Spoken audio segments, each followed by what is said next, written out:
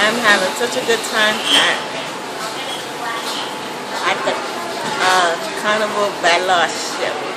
Bella. Bella. I can't find my cousins, but that's alright. We're still going to have a good time.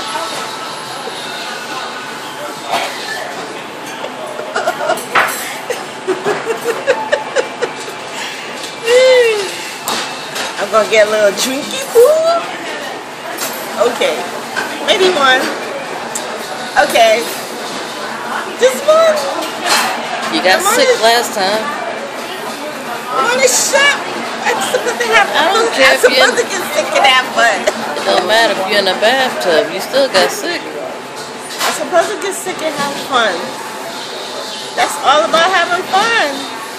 Ooh, this feels so good. I wish y'all could join me. But I couldn't put anybody, I couldn't put everybody in my suitcase.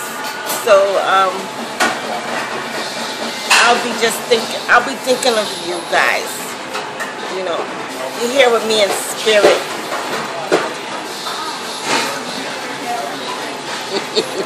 Why are you falling asleep? Woo! We're gonna go on, go up the island and go see Aruba. Don't even know how to pronounce the other one, but we're going off there and we're gonna go see that. We have dancing tonight at 9.30. Woo, party! You know I'm gonna have to get a little drink. All right, cut.